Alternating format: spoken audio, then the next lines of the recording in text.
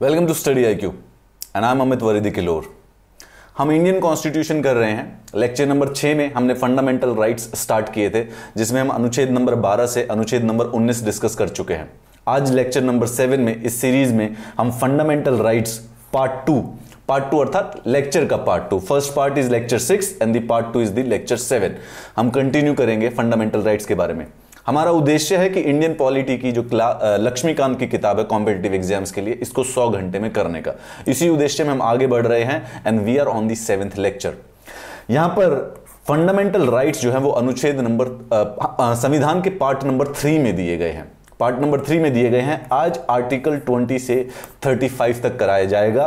Part lecture number six में अनुच्छेद number 12 से 19 तक किया जा चुका है। So part three Indian constitution का है, ये पार्ट टू जो है फंडामेंटल राइट्स के लेक्चर का है. Lecture number seven is basically the part two of the lecture number six let's start and continue अगर आपको सर के साथ सोशल मीडिया पर जुड़ना है तो अपने पसंद के सोशल मीडिया को डाउनलोड कीजिए एंड बस वहाँ पर अमित किलहोर को सर्च कीजिए and I be there to answer any doubts related to the polity series किसी भी समय आप कभी भी इसको देख रहे हैं you can find me on this social media you can shoot the question कोई डाउट आए आपको, संविधान से संबंधित, मौलिक अधिकारों से संबंधित तो वहाँ पर मैं मिलूँगा। अब आप देखिए, उद्देश्य हमारा है लक्ष्मीकांत को सौ घंटे में करने का। पुराने वाले जो लेक्चर्स हैं हिस्टोरिकल बैकग्राउंड कंप्लीट हो चुका है। कॉन्स्टिट्यूशन किस प्रकार से बना है, ये कंप्लीट हो चुका है। प्रियम्बल कंप्लीट हो चुका है। Part one of Indian constitution जिसमें आर्टिकल नंबर वन से फोर तक आते हैं, जो यूनियन और टेरिटरीज के बारे में बात करता है, वो डिस्कस हो चुका है। पार्ट टू जिसके अंदर सिटीजनशिप से संबंधित प्रावधान है प्रोविजंस है, वो भी हमने कंप्लीट कर लिया है। और हमने ये भी समझ लिया है कि सिटीजनशिप कॉन्स्टिट्यूशन के अंदर सिर्फ़ और सिर्फ़ 26 जनवरी 1950 को कौन कौन इंडियन नागरिक होगा यह डिसाइड करता है और उसके बाद संसद यानी पार्लियामेंट को यह पावर देता है कि वो अपने लिए एक नया कानून बना सकता है सिटीजनशिप का। इसके बाद अब हम स्टार्ट कर चुके हैं part three part three very legitimately is the most important part of the Indian constitution ऐसा यूपीएससी प्रीलिम्स का कोई क्वेश्चन पेपर नहीं है प्रीलिम्स का जिसमें पार्ट थ्री से क्वेश्चन ना पूछा गया फंडामेंटल राइट से। लेक्चर नंबर सिक्स में हमने आर्टिकल नंबर ट्वेल्व से लेके आर्टिकल नंबर नाइनटीन तक कंप्लीट कर लिया था। From here on we will be studying article number twenty से हम फंडामेंटल राइट्स के बारे में यह भी समझ गए हैं कि अनुच्छेद नंबर 12 है, वो सिर्फ़ और सिर्फ़ स्टेट को डिफाइन करता है। यानी इस पूरे के पूरे पार्ट थ्री में जब भी कहीं पर स्टेट वर्ड आएगा तो उसकी जो डेफिनेशन है वो आर्टिकल नंबर 12 में दी हुई है। फिर हम डिस्कस करते हैं आर्टिकल नंबर थ्री में, जो कि लॉज की डेफिनेशन देता है।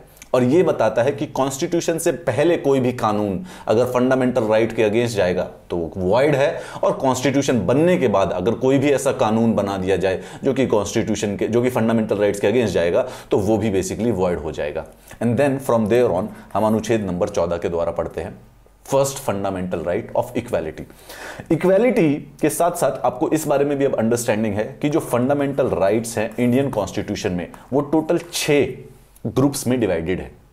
अलग से छह। पहले सात हुआ करता था राइट ऑफ़ प्रॉपर्टी अनुच्छेद नंबर इकतीस में था, उसको अब हटा दिया गया it is not any more amend कर दिया गया उसको चवालीसवें अमेंडमेंट के द्वारा और उसको एक लीगल राइट बना दिया गया आर्टिकल नंबर 300 ए के तहत। हमारे यहाँ पर इस समय जो समूह है फंडामेंटल राइट्स का, वो छह का है। यानी कि सबसे पहले जो राइट्स हैं, वो सारे के सारे इक्वेलिटी से संबंधित है।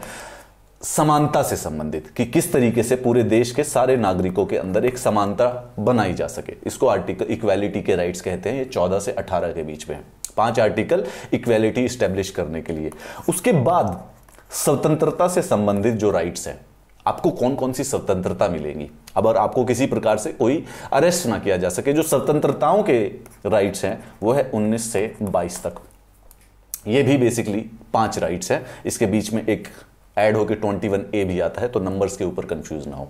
Now we have done the article number 19 article number 19 article number 14 and the article number 21 इसको golden triangle of fundamental rights कहा जाता है। बहुत इंपॉर्टेंट है। एक इक्वालिटी का राइट है, एक बेसिकली फ्रीडम है सारी की सारी, और एक राइट टू लाइफ है। आर्टिकल नंबर 19 के अंदर छह आपको फ्रीडम्स दी गई है। जो कि आपने सारी की सारी डिटेल में पढ़ दी है। And now from here on we start the lecture number seven article number twenty के साथ।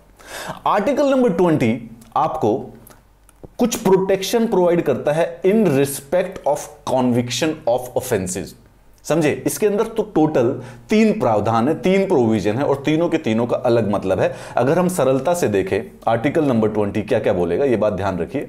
सबसे पहले एक बात कहता है ये एक्स पोस्ट फैक्टो लॉ के बारे में। इन द सिंपलेस्ट टर्म, ये बात ये है कि आपको कोई भी क्रिमिनली जेल में नहीं डाल सकता है। स्टेट या कोई भी गवर्नमेंट सरकार, पुलिस जुडिशरी आपको किसी ऐसे क्राइम की पनिशमेंट नहीं दे सकती है जब आपने कुछ किया हो और उस समय उससे संबंधित कोई कानून एग्जिस्ट ना करता हो। यानी कि सपोज़ कीजिए, आज 2020 है और 2015 में आपने कुछ ऐसा कर दिया था।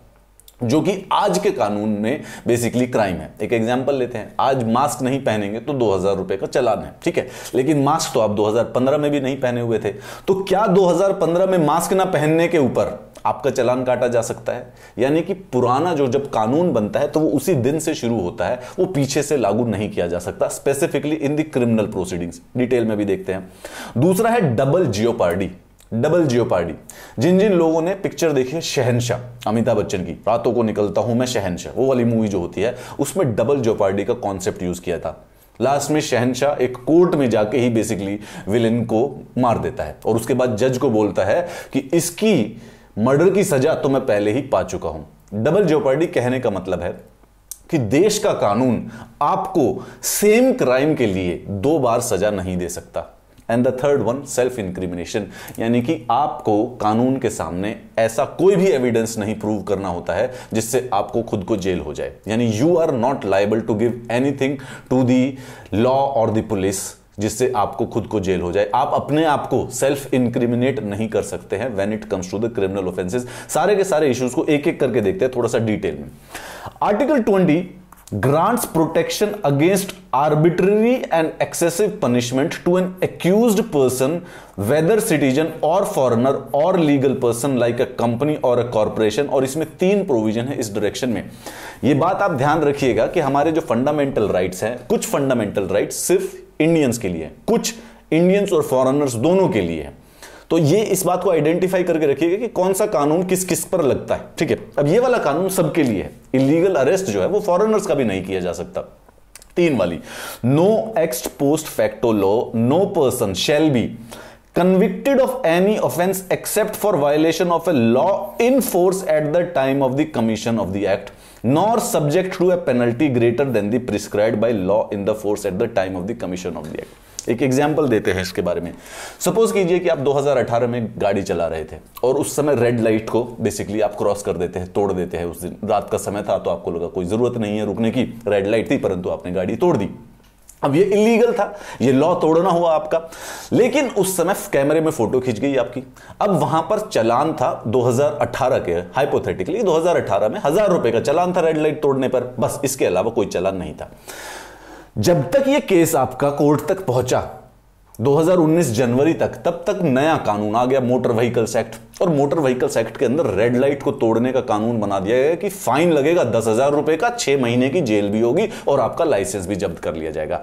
ऐसे में subjected to a penalty greater than prescribed by law in force at the time of the commission आपका जो एक्ट था, क्योंकि वो 2018 जुलाई में किया गया है तो उस समय जो कानून फाइन बताता है, सिर्फ़ वही लगेगा। अब बाद में अगर 2019 में फाइन बढ़ा दिया गया है या लाइसेंस जब्त कर दिया जाता है तो अब वो आपके ऊपर एप्लीकेबल नहीं है। अब आपको 2019 में भी अगर कमीशन पहले था तो सिर्फ़ हज़ार रुपए का फाइन देना ही पड़ेगा। उसके अलावा आपको कोई और पनिशमेंट नहीं दी जा सकती। More importantly convicted of any offence except for violation of law in the force अगर का आप कुछ ऐसा काम करते हैं आज हाइपोथेटिकली जो कि आने वाले समय में क्राइम घोषित कर दिया जाता है। एक एग्ज़ाम्पल के तौर पे देखते हैं। ठीक है? आज कुछ ऐसा कर दिया आपने, जो आने वाले समय में क्राइम हो जाएगा। ऐसी चीज़ को अगर दोबारा सामने ले कि 2025 में कोई कानून बन गया जो कि आज की हुई चीज़ को क्राइम मानने लग जाता है तो उसको एक्स पोस्ट फैक्टो यानी रेट्रोस्पेक्टिव में अप्लाई नहीं कर सकते हैं। आप सेफ़ हैं, वो जो कानून बनने से पहले कुछ भी काम किया जाता है, उसको बेसिकली क्राइम नहीं माना जाता। क्राइम उसको उस दिन से माना जाता है जिस दिन से कानून बनता है। यानी कि एक्स पोस्ट फैक्टो लॉ नहीं बनते हैं। एक्स पोस्ट फैक्टो मतलब कि रेट्रोस्पेक्टिव लॉ नहीं बनता है। This only applies to criminal proceedings याद रखिए सिविल प्रोसीडिंग्स रेट्रोस्पेक्टिव हो सकते हैं। कहने का क्या मतलब हुआ? सपोज़ कीजिए आपने एक काम स्टार्ट किया, आपने एक बिज़नेस डाल लिया, ठीक है? और वो बिज़नेस सिर्फ़ और सिर्फ़ पाँच प्रतिशत टैक्स देता है। ठीक है? 2010 में आपने दुकान बनाई थी, काम कर रहे थे, और 2010 से 2020 तक आपने जो टैक्स दिया वो सिर्फ़ पाँच प्रतिशत था। अब 2020 में या 2021 में भी सरकार ऐसा कानून बना सकती है कि रेट्रोस्पेक्टिवली आपसे टैक्स ले सकती है, वो कानून के अंदर लिख सकती है कि जो ये टैक्स है, ये 2010 से एप्लीकेबल है तो आपको पाँच प्रतिशत की बजाय पंद्रह परसेंट देना पड़ेगा। And then in retrospect they can recover कि आपका प्रॉफिट हुआ था, और अब एक्चुअली में कानून बदल चुका है तो आपको पंद्रह परसेंट टैक्स देना पड़ेगा। तो यानी सिविल मैटर्स में जो कानून है, वो रेट्रोस्पेक्टिवली अप्लाई किया जा सकता है। But when it comes to crime जो क्रिमिनल मैटर्स होते हैं, उनमें कभी भी जो कानून है, वो रेट्रोस्पेक्टिवली अप्लाई नहीं किया जाएगा।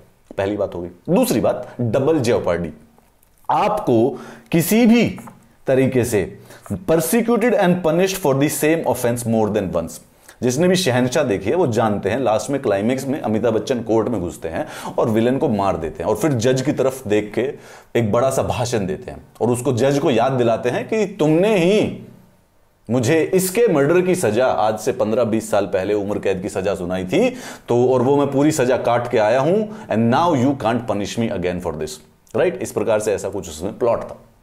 कहने का यही मतलब है।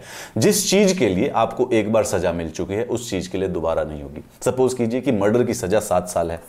अगर आपको सात साल की मर्डर की सजा मिल गई और अब कानून बदल के कर, सजा कर दी बेसिकली पंद्रह साल की या बीस साल की तो ऐसे में दोबारा से नहीं मिलेगी कि अब दोबारा से, क्योंकि कानून ने सजा बढ़ा दी तो अब आपको दोबारा से उस केस को चला के बना दिया जाएगा। ऐसा नहीं हो सकता है। हावेवर इसके अंदर एक बात ध्यान रखिएगा। Again this only applies to the criminal and when this prosecution is done by a judicial authority. क्या मतलब हुआ? मतलब यह हुआ कि अगर कोई चाहे तो जो एडमिनिस्ट्रेटिव बॉडीज होती हैं, वो भी अभी आपके ऊपर कानून फिर भी यूज़ कर सकती हैं। अगर जैसे आप एग्ज़ाम्पल के तौर पे दे सकते हैं कि सेक्सुअल हरासमेंट का कोई केस है, अगर वो कोर्ट में जाता है तो किसी भी जिस भी जिस भी पर्सन के ऊपर सेक्सुअल हरासमेंट का चार्ज है, उसको पनिशमेंट मिल सकती है। लेकिन सेम ऑफेंस के लिए उनकी कंपनी या ऑर्गेनाइजेशन भी स्टेप्स ले सकती है। यानी कि वो एडमिनिस्ट्रेटिव है that would not be a judicial function right तो सेम ऑफेंस के लिए जुडिशरी दोबारा नहीं आपको पनिशमेंट करेगी, लेकिन अगर उसके लिए एडमिनिस्ट्रेटिव करते हैं तो उसको दैट इज़ कंसिडर्ड अलाउड वो उसको ऐसा नहीं माना जाएगा कि एक पनिश एक एक गुना की दो बार पनिशमेंट मिल रही है। सरलता से बात कहें तो एक गुना की एक पनिशमेंट होती है, दो बार नहीं मिलेगी। एंड तीसरा होता है self incrimination no person accused of any offence shall be compelled to be a witness against himself confession होता है, याद रखिए। कन्फेशन कई जगहों पर एडमिट भी किया जाता है, अगर मजिस्ट्रेट के सामने दिया जाता है। लेकिन उस कन्फेशन के बल पर कन्विक्शन नहीं होती है। उसको बस यूज़ किया जा सकता है। आप अपने साथ में ऐड कर सकते हैं। लास्ट में जो कन्विक्शन होगी, उसके लिए पुलिस को प्रूव करना पड़ेगा कि ये इस प्रकार से ऐसे ऐसे क्राइम कमिट किया गया था। ये सारे के सारे उनको जो भी सर्कमस्टेंशियल एविडेंस है they will have to prove it no person can be compelled to provide evidence against himself again this only applies to the criminal one civil proceedings पे अगर आप कुछ डॉक्यूमेंट्स ऐसे छुपा कर बैठे हुए हैं तो आपसे कंपेल भी किया जा सकता है। फिर इसके अंदर छोटी मोटी एक्सेप्शन भी है। जैसे आपको अगर अपने फिंगरप्रिंट्स देने हैं राइट? अब कोई ये कहेगा कि मेरे फिंगरप्रिंट्स तो बेसिकली पुलिस के पास पहले से हैं, मैं क्रिमिनल हूँ। अगर मैं फिंगरप्रिंट्स देखूँ तो मैं पता चल जाऊँगा, मैं क्राइम ये तो मैं इनक्रिमिनेट हो जाऊँगा खुद मेरे फिंगरप्रिंट्स देख लिए तो। मुझे पता है कि क्राइम वाली जो जगह है, वहाँ पर भी फिंगरप्रिंट्स है मेरे। नहीं नहीं। ऐसे में ये जो दो तीन हैं कि फिंगरप्रिंट्स देना, ये कोई आपको इनक्रिमिनेट करने के लिए नहीं है। ये तो पुलिस प्रोसीजर का हिस्सा है, इसको आप नहीं रोक सकते हैं। That is what article twenty illegal और आर्बिट्री अरेस्ट से बचाने के लिए है कि पुलिस पता चले कोई आपसे दुश्मनी ही निकाल ले सरकार में, एक बार जेल कराई, सात साल की आपने सच में क्राइम किया था। जैसे ही बाहर निकले, बोला, दोबारा से इसके ऊपर एक नया केस चला दो किसी प्रकार से. That will not be considered the case with you अब आ जाते हैं article number twenty one in all possibilities the most one of the most important articles definitely the most widely interpreted article बिल्कुल सबसे सिंपल सा सरल सा है। Protection of life and personal liberty no person shall be deprived of his life और personal liberty except according to the procedure establish by law इस शब्द को ध्यान से पढ़िए और कई सारी सी इंपॉर्टेंट चीज़ देखिए इसके अंदर। इसमें एक शब्द है कि आपकी लाइफ की जो डिप्रीवेशन है और लिबर्टी की जो डिप्रीवेशन है किसी भी तरीके से नहीं होगी except the procedure establish by law अब इसमें जो अंडरस्टैंड करने की बात वो ये है कि जब ये केस सुप्रीम कोर्ट के पास पहली बार गया तो सुप्रीम कोर्ट ने कहा कि प्रोसीजर स्टेब्लिश बाय लॉ है। उन्होंने उस समय थोड़ी सी नैरो अंडरस्टैंडिंग की। गोपालन केस बड़ा 1950 का बड़ा पॉपुलर केस है, उसको कहा जाता है गोपालन केस। ठीक है?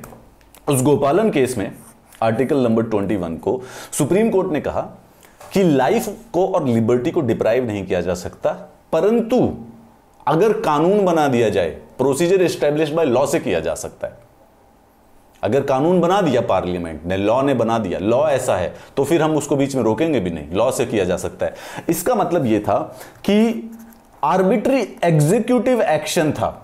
तो उससे तो सुप्रीम कोर्ट ने आपको बचा लिया, परंतु आर्बिट्री लेजिस्लेटिव एक्शन को उन्होंने सैंक्शन दे दिया।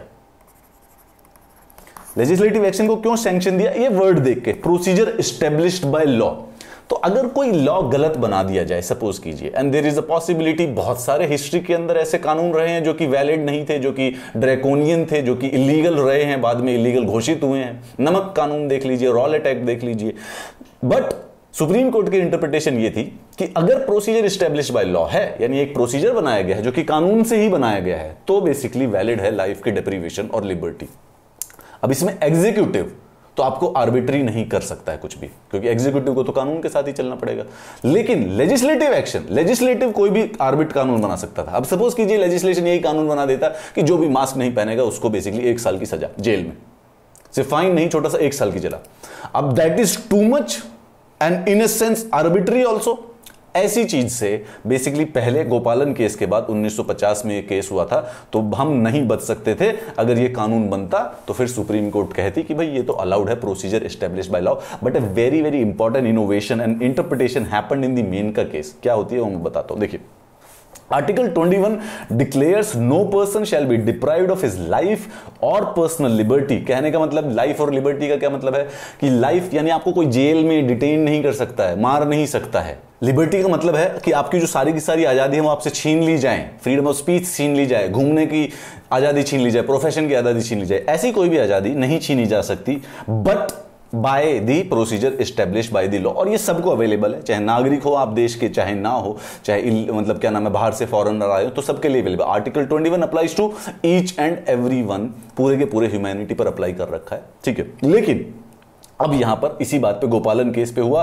सुप्रीम कोर्ट ने एक नैरो इंटरप्रिटेशन ली इस आर्टिकल की। इट हेल्ड कि protection under article 21 is available only against arbitrary executive action not against arbitrary legislative action क्यों?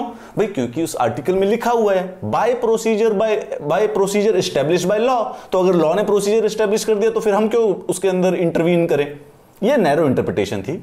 तीस साल के बाद सुप्रीम कोर्ट ने दोबारा से कहा कि नहीं, ऐसे नहीं चलेगा भाई। 1978 में दोबारा से बात की गई। मेन का गांधी केस था। सुप्रीम कोर्ट ने गोपालन केस की जजमेंट को ओवर रूल कर दिया। ठीक है? And it took a much more wider interpretation और वो 1970 का जो समय था, जब बेसिकली कॉन्स्टिट्यूशन की वाइडर इंटरप्रिटेशन स्टार्ट हुई। आप देखिएगा कि आर्टिकल 21 किस लेवल पर पहुँच गया अब तो। अब तो बेसिकली सबसे इंपॉर्टेंट बन गया। अगर 1950 की जजमेंट पर चलते तो इस आर्टिकल की कोई खास वैल्यू नहीं रह जाती। इसका मतलब तो सिर्फ़ ये था कि पार्लियामेंट किसी भी प्रकार का लॉ बनाकर आपकी कोई भी लाइफ और लिबर्टी कभी भी ले सकता है। But this case of Maneka Gandhi case change the paradigm permanently it says that life of liberty and person life uh, right to life and liberty of person can be deprived by a law provided by the procedure prescribed by law which is reasonable fair and just इन्होंने law के ऊपर एक obligation डाल दी कि कानून अगर बनेगा तो वो रीजनेबल होना चाहिए फेयर होना चाहिए और जस्ट होना चाहिए ऐसा नहीं है कि अगर आप मास्क नहीं पहने हुए हैं तो आपको दो साल की जेल हो गई this is not reasonable neither it is just neither it is fair बिल्कुल गलत बात है ये हल्की फुल्की देखी जाए तो। ये जो था, अब इस कॉन्सेप्ट में जो एक्चुअली में हम डिस्कस करते हैं पॉलिटी में, इसमें कॉन्सेप्ट क्या होता है कि जो ये प्रोसीजर है कि कानून, सिर्फ़ कानून बनाने से कानून नहीं बन जाता है, वो उसका एक पैरामीटर होना चाहिए रीजनेबल जस्ट और लॉ इसको कहते हैं due process of law due process of law American constitution में एक कॉन्सेप्ट है ड्यू प्रोसेस ऑफ़ लॉ का कि कानून तभी वैलिड होता है जब वो रीजनेबल हो जस्ट हो और फेयर हो। इसको बताता कौन है? ये बताएगा सुप्रीम कोर्ट कि कौन सा कानून रीजनेबल है जस्ट है फेयर है, ठीक है? ये custodian of the constitution custodian of the law ये बात डिसाइड करेंगे। But this gives takes away an important power from the parliament legislation से एक इंपॉर्टेंट पावर ले लेता है आर्बिट्री पावर नहीं लेगा वो। अब लेजिस्लेशन आर्बिट्री लॉ नहीं बना सकता है लाइफ लिबर्टी को डिप्राइव करने के लिए। इससे पहले अगर सिर्फ़ और सिर्फ़ प्रोसीजर एस्टेब्लिश बाय लॉ पर जाएँगे तो लेजिस्लेशन यानी पार्लियामेंट कैसा भी कानून बना देगा? भाई मेजोरिटी की तो बात है मेजोरिटी तो किसी पार्टी के पास आ ही जाती है, जो मर्ज़ी कानून बना दिया and then no will be able to do anything भाई, ऐसे में तो लेजिस्लेशन ये कानून बना सकता है कि अगर आप पर्टिकुलर कलर के कपड़े पहनोगे तो मैं आपको जेल भेज दूँगा। और वो कानून बन गया तो प्रोसीजर स्टेब्लिश बाय लॉ हो गया। है आर्बिट्री लेकिन प्रोसीजर स्टेब्लिश बाय लॉ है। इसीलिए due process of law is so important कि सिर्फ़ कानून इंपॉर्टेंट नहीं होता है। वो रीजनेबल हो जस्ट हो फेयर हो।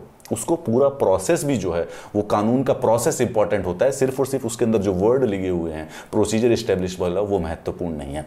Maneka Gandhi case is so important इस इंटरप्रिटेशन के बाद जो right to life and liberty है उसके अंदर से आर्टिकल नंबर 21 से maximum number of implicit rights निकले हैं। भाई अधिकार आपका जीने का है लेकिन जानवरों की तरह भी तो जिया जा सकता है। सिर्फ़ जीना उस मतलब में नहीं है कि एक्चुअली में तो अगर हम देखें तो everybody is a life dog is a alive, a cockroach is alive, a lion is alive, a tiger is alive, a deer is alive, everybody is alive. लेकिन उनका एग्जिस्टेंस जो है वो ह्यूमन एग्जिस्टेंस को कंसिडर नहीं किया जा सकता। आर्टिकल राइट टू लाइफ और लिबर्टी है ये ह्यूमन डिग्निटी के साथ जीने का अधिकार है। This article led to several implicit rights जो कि लिखे नहीं गए हैं परंतु इसी अधिकार के अंदर आते हैं जो कि सुप्रीम कोर्ट ने पिछले 50 सालों में अपनी अलग अलग जजमेंट में बताए हैं। जैसे right to life with human dignity ये अनुच्छेद नंबर 21 का इम्प्लिसिट राइट है। राइट टू लाइवलीहुड ये अनुच्छेद नंबर 21 का इम्प्लिसिट राइट है। Right to privacy free legal aid solitary confinement में नहीं रखा जा सकता। क्यों? क्योंकि आपको जीने का अधिकार है। एक इवन क्रिमिनल्स को है टेररिस्ट को भी जीने का अधिकार है। Right to information right to reputation right to travel abroad अगर आप देश में पैदा हुए हैं तो आपको देश के अंदर बाँध कर नहीं रखा जा सकता। अगर आप चाहेंगे तो बाहर भी ट्रेवल करेंगे। अगेंस्ट बॉन्डेड लेबर कोई भी आपसे बंधुआ मजदूरी नहीं करा सकता। राइट टू स्लीप अगर पुलिस आपको पकड़ ले और उसके बाद लगातार 20-25 दिनों तक सोने ना दे तो इसका मतलब आपके राइट टू लाइफ का हनन हो रहा है। Right to freedom from noise pollution right to electricity ये सब अधिकार पिछले 50 सालों में अनुच्छेद नंबर 21 के इम्प्लिसिट राइट्स हैं। एक लिस्ट है लक्ष्मीकांत में 35 इस प्रकार से जो इम्प्लिसिट राइट्स हैं। और एक छोटा सा प्रिलिम्स में क्वेश्चन भी बनता है। They can directly ask you नीचे ऑप्शन देकर कि इसमें से कौन कौन से अधिकार जो हैं, वो इम्प्लिसिट राइट है आर्टिकल नंबर 21 से। याद कर लीजिएगा, पढ़ लीजिएगा, रट्टा लगाने की ज़रूरत नहीं है कॉमन सेंस से आ जाएँगे थोड़ा थोड़ा इस that is nothing much more complex about it article number 21 one A capital में लिखा हुआ है तो इसका मतलब ये हो गया कि ये हमारा अमेंडमेंट के द्वारा दिया गया है। कौन से? Eighty six constitutional amendment act में दिया गया था। अब आर्टिकल नंबर ट्वेंटी वन आपने सुना होगा। राइट टू एजुकेशन का जो अधिकार है। Right to free and compulsory पूरा नाम सुनेंगे तो उसमें यह है कि right to free and compulsory education उसको आरटी एक्ट कहते हैं। यह बात कि शिक्षा देनी चाहिए, ये एक्चुअली में पहले से लिखी हुई थी, अनुच्छेद नंबर 45 में, परंतु अनुच्छेद नंबर जो 45 था, वो एक डीपीएसपी था तो वो जस्टिशिएबल नहीं था। इट कैन नॉट बी उसके लिए केस कोर्ट में नहीं जाया जा सकता सुप्रीम कोर्ट में नहीं जाया सकता था। डीपीएसपी था जो फाउंडिंग फादर्स थे उन्हें लगा कि शिक्षा जो है वो सबसे बेसिक अधिकार होना चाहिए। इस चीज़ को फाइनली 2009 में हमने सोचा कि अब इसको कंप्लीटली हम इस प्रकार से इतने इक्विप हो चुके हैं, इतने इकोनॉमिकली डेवलप्ड हो चुके हैं कि हम पूरे देश को शिक्षा फ्री और कंपलसरी प्राइमरी एजुकेशन याद रखिए प्रोफेशनल एजुकेशन और पोस्ट ग्रेजुएशन वो इस समय फंडामेंटल राइट नहीं है। एजुकेशन फंडामेंटल राइट है this is also very important to understand right to education and अनुच्छेद नंबर आर्टिकल 21 ए जो है, वो प्राइमरी एजुकेशन की फंडामेंटल राइट देता है। पढ़ के देखिए। Article 21 A declares that the state shall provide free and compulsory compulsory है, एक भी ऐसा नहीं कि फ्री है तो मतलब तो किसी को छोड़ भी सकते हो। All children of the age of six to fourteen years छह से चौदह साल के सारे के सारे बच्चे जितने भी भारत देश में उनको फ्री और कंपलसरी एजुकेशन मिलनी चाहिए in such a manner as the state may determine this provision makes only elementary education a fundamental right not higher और प्रोफेशनल एजुकेशन याद रखिए हायर एजुकेशन फंडामेंटल राइट नहीं है। जनरल अधिकार है आपका फ्रीडम है आपको पढ़ने की, ऐसी कोई रोकेगा कोई नहीं, परंतु फंडामेंटल राइट नहीं है। This provision was added by the eighty six constitutional amendment act of two thousand two and is a major milestone in the country's aim to achieve education for all. The government have described this as the dawn of the second revolution in the chapters of the citizens right. इतना महत्वपूर्ण है सुनने में नहीं पता चलता है शिक्षा शिक्षा is such a complex issue education जो है क्योंकि हम लोगों को मिली हुई है सो वी माइट फील कि इतनी कोई बड़ी बात नहीं है। परंतु देश का एक बहुत बड़ा तबका कभी भी ज़िंदगी में एजुकेशन नहीं पा सकता है। उन सबको एक पेन के स्ट्रोक से परमानेंटली फ्री और कंपलसरी प्राइमरी एजुकेशन देने के लिए भारत ने अपने संविधान के अंदर मौलिक अधिकार दे दिया। कॉन्स्टिट्यूशन से पहले इस अमेंडमेंट 86 कॉन्स्टिट्यूशनल अमेंडमेंट जो कि 2002 में हुआ है, इससे पहले ही हमारे संविधान में फ्री एंड कंपलसरी एजुकेशन कहते थे आर्टिकल नंबर 45 में। बट वो डीपीएसपी है। पार्ट फोर में आएगा, हम पढ़ेंगे उसके बारे में। वो डीपीएसपी है। डायरेक्टिव प्रिंसिपल था तो उसको एनफोर्सिबल नहीं कर सकते थे और ना ही उसमें जुडिशियल इंटरवेंशन हो सकती थी। परंतु अब इस चीज़ को बदला जा सकता है, बदल चुका है। अब शिक्षा जो है वो एक मौलिक अधिकार है और उसको बदला भी जा सकता है। इसी परसुएंस में आर्टिकल ट्वेंटी ए के परसुएंस में पार्लियामेंट ने इनेक्ट किया right of children to free and compulsory education act 2009 इससे कोशिश की जाएगी कि हर छात्र को प्रोवाइड किया जाए full time elementary education of satisfactory and equitable quality in a formal school which satisfy certain essential norms and standards. अगर मौका मिला तो इसी पॉलिटी की सीरीज़ में कुछ हम मेजर एक्ट्स पढ़ेंगे देश के बारे में, जिसमें हम राइट टू एजुकेशन वाला एक्ट भी पढ़ेंगे। अभी के लिए सिर्फ़ ये बात ध्यान रखिए कि अनुच्छेद नंबर 21 के अंदर 21 ए 21 ए के अंदर राइट टू एजुकेशन का कानून बनाया गया है बाद में। अब बेसिकली एंड मोर इंपॉर्टेंटली एक ही इंपॉर्टेंट बात है elementary education is fundamental rest जो प्रोफेशनल है हायर एजुकेशन है that is not a fundamental right legal right है, आप पढ़ सकते हैं उसको। अब आते हैं अनुच्छेद नंबर 22 के भीतर। फ्रीडम है ये पढ़ने की फ्रीडम है याद रखिए फ्रीडम राइट टू एजुकेशन आज़ादी दी जा रही है आपको। हम इस समय 19 से 22 के बीच में पढ़ रहे हैं ठीक है? 19, 20, 21, 21 ए और 22 पाँच अधिकार जो कि आपको स्वतंत्रताएँ प्रोवाइड करते हैं। अब आ जाते हैं आर्टिकल नंबर 22 के ऊपर। आर्टिकल नंबर 22 दो प्रकार की डिटेंशन अरेस्ट के बारे में बात करता है। ठीक है अरेस्ट के बारे में, दो प्रकार का अरेस्ट होता है। एक तो प्यूनिटिव डिटेंशन प्यूनिटिव डिटेंशन का मतलब कि आपने क्राइम कर दिया है पनिशमेंट के लिए डिटेन किया जाएगा प्यूनिटिव डिटेंशन और दूसरा प्रिवेंटिव डिटेंशन क्राइम करने से पहले ही पकड़ने का। अब आप लोगों में से जो लोग सिनेमा देखते हैं, उनमें से किसी ने माइनॉरिटी रिपोर्ट देखी होगी टॉम क्रूज की मूवी है माइनॉरिटी रिपोर्ट माइनॉरिटी रिपोर्ट में एक फ्यूचरिस्टिक एक स्टोरी का प्लॉट है कि फ्यूचर में जो क्राइम होने से पहले ही बेसिकली क्रिमिनल को पकड़ लिया जाता है। एक्चुअली में प्रिवेंटिव डिटेंशन कुछ उसी प्रकार का प्रावधान है। पर क्राइम होने की संभावना होने से पहले ही क्रिमिनल को पकड़ लिया जाए और कुछ समय के लिए डिटेन कर लिया जाए। डिटेल में पढ़ते हैं। प्यूनिटिव डिटेंशन का मतलब है कि जिस आदमी ने क्राइम किया है, लेकिन उसके भी कुछ अधिकार होते हैं। उसके भी ऐसा नहीं है कि उसको कंप्लीटली जानवरों की तरह उसके साथ बिहेव किया जाए। उसको चार अधिकार दिए गए हैं। पहला अधिकार यह है कि जब भी किसी को अरेस्ट किया जाएगा डिटेन किया जाएगा तो उसको इन्फॉर्म इन्फॉर्म किया जाएगा कि किस लिए उसके अरेस्ट किया जा रहा है। दूसरा, उसको डिफेंड करने के लिए एक लीगल प्रैक्टिशनर का अधिकार है। वो अपना लॉयर लगा सकता है लॉयर अप्लाई कर सकता है, और हर एक बंदे जिसको अरेस्ट किया जाता है, जिसका ट्रायल होता है, उसको अधिकार मिलता है एक लॉयर लेने का। थर्ड ये इंपॉर्टेंट वाला है, किसी को भी अरेस्ट किए जाने के बाद 24 घंटे के अंदर अंदर उसको एक मजिस्ट्रेट के सामने प्रोड्यूस करना होता है। याद रखिए, ये 24 वर्किंग आवर्स हैं। कभी कभी आपने सुना होगा कुछ लोगों ने कि पुलिस ना जनरली कई बार जब किसी को अरेस्ट करने जाती है तो कई बार कुछ दिन वेट करके फ्राइडे को फ्राइडे को अरेस्ट करती है। फ्राइडे को शाम को इवनिंग में अरेस्ट कर लेती है। क्यों? क्योंकि सैटरडे और संडे को अगर कोर्ट की छुट्टी है तो इस आदमी को अब आपको 24 घंटे के अंदर अंदर प्रेजेंट करना है कोर्ट में। परंतु क्योंकि सैटरडे और संडे वर्किंग डे है तो वो काउंट नहीं होंगे। अब सीधा मंडे की सुबह इसको अरेस्ट होगा। तो तीन दिन का समय मिल जाता है पुलिस को क्रिमिनल के साथ। ऐसा कई जगहों पर थोड़ा सा किया जाता है। लेकिन इन एनी सिनेरियो अंडरस्टैंड करें लॉ को तो जो भी आदमी अरेस्ट होता है 24 घंटे के अंदर अंदर उसको magistrate working twenty four hours के अंदर अंदर उसको मजिस्ट्रेट के तहत आगे, क्या नाम है प्रेजेंट करना होता है। मजिस्ट्रेट अगर परमिशन नहीं देता उसको वापस अरेस्ट करने की तो उसको वहीं पर छोड़ना पड़ेगा। You have to release the person अगर आपने 24 घंटे में मजिस्ट्रेट के सामने उसको प्रोड्यूस नहीं किया तो। और मजिस्ट्रेट जब परमिशन देगा, तभी आप उसको डिटेन और अरेस्ट करे रखते हैं। ये हमारा अनुच्छेद नंबर बाईस है। तो इसके अंदर जो लोग अरेस्ट होते हैं, जो लोग डिटेन होते हैं याद रखिए अभी से पहले हम जनरली फ्री फ्री सिटीजन्स के बारे में बात कर रहे हैं। अब एक स्पेसिफिकली आर्टिकल आया है, जहाँ पे स्पेशल केसेस डिस्कस होना स्टार्ट हुए हैं। वो लोग जो अरेस्ट हुए डिटेन हुए हैं। ये जनरल लोगों के लिए नहीं है, सिर्फ़ अरेस्ट और डिटेन होने वालों के लिए है ये आर्टिकल दो टाइप की डिटेंशन होती है punitive and the preventive punitive का मतलब पनिशमेंट प्यूनिटिव सजा देने के लिए जो डिटेन किया गया। और प्रिवेंटिव मतलब प्रिवेंट करना है, हमें क्राइम को ही प्रिवेंट करना है। Is to punish a person for an offence committed by him after trial and conviction preventive का मतलब यह है कि detention of a person without trial and conviction by the court ठीक है?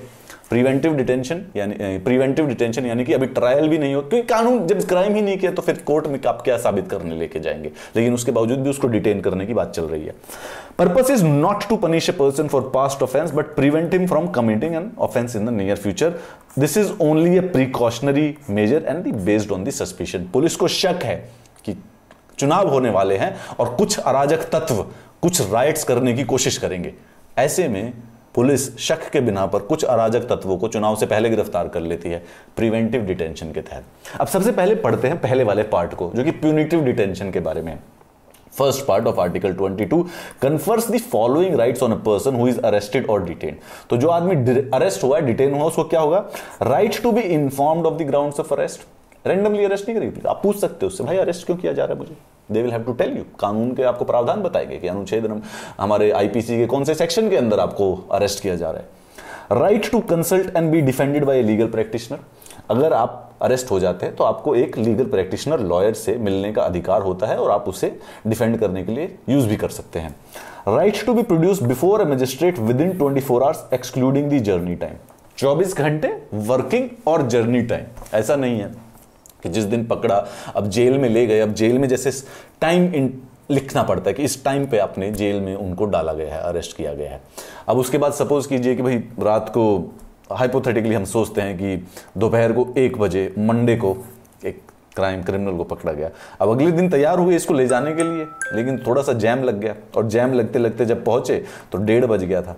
तो दो घंटे तो ट्रेवलिंग टाइम में ही लग गए थे तो मतलब ये नॉर्मल बात है, परंतु कई बार कानून में एक्चुअली में लिख के देना पड़ता है कि travelling time is not included right to be release after 24 four hours unless the magistrate authorises for the detention यानी वो जो मजिस्ट्रेट है, अगर उसने मना कर दिया या फिर उसने ऑथोराइज नहीं किया तो 24 घंटे बाद आपको छोड़ना भी पड़ेगा उस आदमी को। चलिए, These safeguards are not available to enemy alien or a person arrested or detained under a prevention law. तो पहले तो एनिमी एलियन एनिमी एलियन याद रखिएगा एनिमी एलियन वो आदमी होता है जिस देश के साथ हम आप वॉर पे हैं। अभी चाइना है पाकिस्तान का कोई आदमी है तो वो एनिमी एलियन नहीं माना जाएगा। इन जनरल अभी right now we are not declared हम उस समय कॉन्फ्लिक्ट में नहीं है उन कंट्री के साथ इस समय। ना ही हम इस समय उन पे वॉर से हैं। तो उनके जो लोग हैं वीज़ा लेकर आते हैं, ठीक है? तो उनको नॉर्मल फॉरनर्स ही माना जाता है। उनके ऊपर नज़र रख सकते हैं, कुछ शकवक हो तो परंतु ऐसा नहीं है कि उनको एनिमी एलियन अगर वॉर डिक्लेयर्ड है तो उस समय कोई भी, जिस भी देश के साथ डिक्लेयर्ड होगी तो उस समय जो भी उस देश का नागरिक होगा तो वो एनिमी एलियन माना जाएगा। एनिमी एलियन के पास ये अधिकार नहीं है कि ऐसे आपको ये राइट्स मिले कि 10 घंटे के अंदर 24 घंटे के अंदर मजिस्ट्रेट के पास है इन्फॉर्म किया जाए। ज़रूरत पड़ने पर उनको अरेस्ट किया जा सकता है। और प्रिवेंटिव डिटेंशन वाले को। प्रिवेंटिव डिटेंशन वाले के पास क्या अधिकार है बता देते हैं। Supreme court rule that arrest and detention in the first part of article 22 do not cover arrest under the orders of a court, civil arrest arrest on failure to pay the income tax and deportation of an alien अब यहाँ पर prelims का question ढूँढने की कोशिश करो। First part में अभी अभी हमने जो प्यूनिटिव डिटेंशन के जो चार प्रिंसिपल पढ़े थे इन्फॉर्म हो गए मजिस्ट्रेट के पास लेके जाना। अगर टैक्स नहीं भरा और तब पकड़ लिए गए हो तो ऐसा 24 घंटे का कोई रूल अप्लाई नहीं हो रहा है। अगर सिविल अरेस्ट है क्रिमिनल इश्यूज़ के लिए ही होगा। सिविल अरेस्ट है, अगर आपने कोई सिविल कंपाउंड किया है तो तब आपको ऐसा 24 घंटे में मजिस्ट्रेट ने ये सिर्फ़ और सिर्फ़ क्रिमिनल अरेस्ट के लिए अलाउड है। जैसे मर्डर कर दिया उसने। अब उस मर्डरर को जैसे ही पकड़ा जाएगा, अरेस्ट किया जाएगा, उसको 24 घंटे के अंदर अंदर मजिस्ट्रेट के पास ले जाना है। सिविल अरेस्ट के लिए नहीं होगा। ऑर्डर ऑफ़ कोर्ट पे अगर कोई अरेस्ट हुआ, कोर्ट ने लिख के दिया कि इस आदमी को अरेस्ट कर लो तो ऐसा नहीं है कि 24 घंटे में मजिस्ट्रेट, अब मजिस्ट्रेट के पास कैसे लगेगा? कोर्ट ने तो पहले ही बोला है कि इसको अरेस्ट कर ले। तो लॉजिक भी है, लगता भी नहीं है वहाँ पर। एंड डिपोर्टेशन ऑफ़ एलियन एक एलियन को पकड़ लिया, पाकिस्तान के साथ लड़ाई हो रही थी, कुछ पाकिस्तान नागरिकों को पकड़ लिया, बोले कि तुम वापस जाओ, लाहौर जाओ अपने वापस। वैसे में ये नहीं कि अब इनको चौबीस घंटे में करो, ये उनके ऊपर अप्लाई नहीं होता है। लॉजिकल बट याद रखिएगा। They apply only to an act of a criminal or a quasi criminal nature or some activity prejudicial to the public interest. Primarily speaking, अपराधी, आपराधिक मामले जो होते हैं, उन्हीं पर अप्लाई होता है। अब आ जाते हैं प्रिवेंटिव डिटेंशन पर। प्रिवेंटिव डिटेंशन आर्टिकल नंबर 22 के सेकंड पार्ट में लिखा हुआ है grants protection to person who are arrested और detain under a preventive detention law constitution में कोई प्रिवेंटिव डिटेंशन लॉ नहीं है। वो हमें बाहर से बनाना पड़ता है प्रिवेंटिव डिटेंशन लॉ पार्लियामेंट बनाता है ठीक है? जैसे सिटीजनशिप का लॉ कॉन्स्टिट्यूशन में नहीं है। सिटीजनशिप का लॉ बनाया गया बाहर है। अनटचेबिलिटी का लॉ कॉन्स्टिट्यूशन के अंदर नहीं लिखा गया लॉ बाहर से एक पार्लियामेंट दोबारा से बनाता है। प्रिवेंटिव डिटेंशन के लॉ भी पार्लियामेंट कई सारे बना चुका है। अब उस, उसके बावजूद भी चाहे वो कोई भी कानून बना ले देर आर सर्टन प्रोटेक्शन जो दी जाती है प्रिवेंटिव डिटेंशन वालों को। कैसे? The detention of a person cannot exceed three months unless an advisory board's report sufficient cause for extended uh, detention. The board is to consist judges of a high court. जब किसी को preventively detain किया जाता है जैसे इसके अब जैसे मैंने आपको एग्ज़ाम्पल बताया कि चुनाव हो रहे हैं कई बार होता है कि चुनावों के समय में कुछ अराजक तत्व होते हैं, कुछ गड़बड़ करने की कोशिश कर सकते हैं। तो ऐसे में कई बार वहाँ के जो एसपी साहब होते हैं, पुलिस होती है, वो ऐसे अराजक तत्वों को प्रिवेंटिवली डिटेन कर लेती है। लेकिन it is limited to three months तीन महीने से अधिक उसको प्रिवेंटिवली डिटेन नहीं किया जा सकता है। तीन महीने के बाद भी करना है। सपोज़ कीजिए ऐसे लगे कि भाई अभी तो मुद्दा गर्म कुछ भी हो सकता है कम्युनल इश्यूज़ है। ये इसको बाहर भेजेंगे तो ये जाके गड़बड़ करेगा। तब एक एडवाइजरी बोर्ड गठन किया जाता है, जिसमें हाईकोर्ट के जजेस होते हैं। वो परमिशन देंगे कि ठीक है यार, कर लो, आदमी रिस्की है ये, इसको थोड़ा जेल के अंदर और रखिए। अगर उन्होंने नहीं दी तो फिर बेसिकली उसको छोड़ना पड़ेगा। The ground of detention should be communicated to detenu however the facts consider to be against the public interest need not be disclosed तो अब जो अगेन ये वही वाली बात है कि किसी को भी जब जेल होती है या फिर किसी को पकड़ा जाता है तो उसको बताया तो जाता ही है कि क्यों पकड़ रहे हैं। रैंडमली तो कौन ही कहीं लेके जा रहा है। इसके केस में प्रिवेंटिव डिटेंशन में ये है कि अगर ज़रूरत पड़े, कुछ ऐसी पब्लिक इंटरेस्ट का कोई मुद्दा हो तो ज़रूरी नहीं है बताना।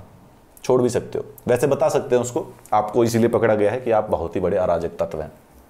The detenu should be afforded an opportunity to make a representation against the detention order तो डिटेंशन ऑर्डर जब आएगा तो इसके अगेंस्ट वो रिप्रेजेंटेशन कोशिश भी कर सकता है कि भाई आप जो बता रहे हैं, पुलिस ने आपने मेरे लिए डिटेंशन ऑर्डर निकाला लेकिन मैं तो ऐसा कोई अराजक तत्व वाला काम करने वाला नहीं हूँ। पुलिस को लगा कि बात सच कह रहा है, रिटर्न में दे रहा है तो छोड़ देंगे। नहीं लगा। बोले कि ये बात तो तुमने पहले भी दो बार किया है, तुम तो जेल चलो प्रिवेंटिवली डिटेन हो जाएगा। अब एक इंटरेस्टिंग बात देखिए कि तीन महीने का है, तीन महीने तक उसको डिटेन कर सकते हैं। चवालीसवें amendment listen to this very interestingly चवालीसवें amendment act has reduce the period of detention without obtaining the opinion of advisory board from three to two months तो तीन महीने से दो महीने कर दिया गया है, परंतु तब से लेके 1976 से लेकर 50 साल बीत चुके हैं। आज तक provision has not yet been brought into force hence आज भी तीन महीने का प्रोसेस जो है वो कंटिन्यू रहता है। क्योंकि ये बहुत ज़्यादा यूज़ नहीं होता है। प्रिवेंटिव डिटेंशन तो इसलिए ज़्यादा बड़ा मुद्दा एग्जिस्ट नहीं करता है। बट चवालीसवें अमेंडमेंट में ये बात ध्यान रखिएगा फोर्टी फोर्थ अमेंडमेंट दो बातें ध्यान रखिए कि फोर्टी टू अमेंडमेंट था। 42 अमेंडमेंट हमारे देश का इतना इंपॉर्टेंट अमेंडमेंट है, उसको मिनी कॉन्स्टिट्यूशन कहते हैं। इंदिरा गांधी जी ने किया था इमरजेंसी के बाद इमरजेंसी के समय में, कि सब बदल दूँगी मैं पूरे के पूरे संविधान के अंदर। उस सब बहुत मेजर चेंजेस हुए थे डिटेल में पढ़ेंगे उसको। उसके अंदर जो बहुत सारे मेजर चेंजेस थे, उनको पलटा गया था फोर्टी अमेंडमेंट में। ये दोनों के दोनों अमेंडमेंट एक दूसरे को डाइल्यूट करने के लिए, ये मतलब फोर्टी सेकेंड बेसिकली लेजिस्लेटिव और एग्जीक्यूटिव की पावर्स को बढ़ाने के लिए था और फिर फोर्टी फोर्थ ने उसमें जितने भी गलत गलत चीज़ें थी, उन सबको डाइल्यूट कर दिया गया। तो ये दोनों एक दूसरे के साथ कौन कॉन्जोनेंस में पड़ेगा फोर्टी फोर्थ में प्रिवेंटिव डिटेंशन अब सोच के देखिए कि इंदिरा गांधी ने इमरजेंसी कर दिया, जो भी पॉलिटिकल ओपिनियन उन सबको जेल भेज दिया। ये लोग जब जेल भेज के वापस आएँगे, सरकार बनाएँगे तो यही कोशिश करेंगे कि प्रिवेंटिव डिटेंशन इतना भी इलीगल मत करो कि जब मर्ज़ी कर दो। हैंस दो महीने इन्होंने किया। बट वो अभी तक फोर्स में नहीं आया, वो प्रोविज़न छोड़ दीजिए, कोई चिंता की बात नहीं है। ये वो कानून है जो कि प्रिवेंटिव डिटेंशन के कानून गवर्नमेंट ने बनाए हैं। ठीक है? इन्हीं प्रिवेंटिव डिटेंशन के तहत, जैसे मीजा का कानून है, टाडा, संजय दत्त जी हमारे टाडा के अंदर जेल गए थे, POTA prevention of territory activities ये तीनों तो रिपील हो चुके हैं इस समय। Unlawful activities and prevention act ये अभी रिपील नहीं हुआ है। इसके तहत किसी को पकड़ के तीन महीने के लिए जेल में रखा जा सकता है। तीन महीने से अधिक रखना है तो किसी एडवाइजरी बोर्ड को आप उसे पूछ सकते हैं परमिशन ले सकते हैं और उसके बाद तीन महीने तक भी, तीन महीने के बाद भी उसको जेल में रखा जा सकता है। याद रखिएगा कि ये कुछ प्रिवेंटिव डिटेंशन लॉज हैं। मीसा, टाडा, पोटा, ये सब रिपील हो चुके हैं, बने थे उन्नीस सौ इनकी डेट है बनने की, फिर रिपील की कोई खास याद नहीं है। यूपा अभी भी है। अनलॉफुल एक्टिविटीज़ प्रिवेंशन एक्ट उन्नीस सौ सड़सठ में बना था, बीच में कई बार अमेंड भी हुआ है and it is still applicable in India अब एक इंटरेस्टिंग बात यह है कि जो प्रिवेंटिव डिटेंशन एक्ट होता है, यानी क्राइम करने से पहले किसी को जेल भेज देना, ये कहीं एग्जिस्ट नहीं करता। यूनाइटेड स्टेट्स ऑफ़ अमेरिका को तो पता भी नहीं है कैसा होता है कुछ। यूनाइटेड किंगडम ने सिर्फ़ फ़र्स्ट वर्ल्ड वॉर वन और टू के समय यूज़ किया था। इसको काफ़ी ड्रेकोनियन लॉ माना जाता है। No democratic country in the world has made preventive detention an integral part of the constitution और जहाँ पर है, वहाँ पर सिर्फ़ लीगल है। कॉन्स्टिट्यूशन का पार्ट नहीं बनाया गया है। It is unknown in USA USA में तो प्रिवेंटिव डिटेंशन पॉसिबल ही नहीं है। इसीलिए तो बड़े खुश होकर माइनॉरिटी रिपोर्ट बना रहे थे कि ऐसा बेहतरीन आइडिया आया है दिमाग में कि एक मूवी बना देते हैं। क्राइम करने से पहले किसी को पकड़ना है। टॉम क्रूज और स्टीवन स्पीलबर्ग ने ऐसा सोचा, क्योंकि उन्होंने ऐसा सोच, उन्होंने पहले कभी सुना ही नहीं था। हमारे यहाँ पे तो नॉर्मल है। हमारे यहाँ पर साइंस फिक्शन उनके लिए प्रिवेंटिव डिटेंशन साइंस फिक्शन है। They had to make a movie for this in science fiction हमारे लिए तो पॉलिटिकल सेटायर हो जाएगा, एक पॉलिटिकल ड्रामा हो जाएगा अगर प्रिवेंटिव डिटेंशन पे बनाएँगे तो।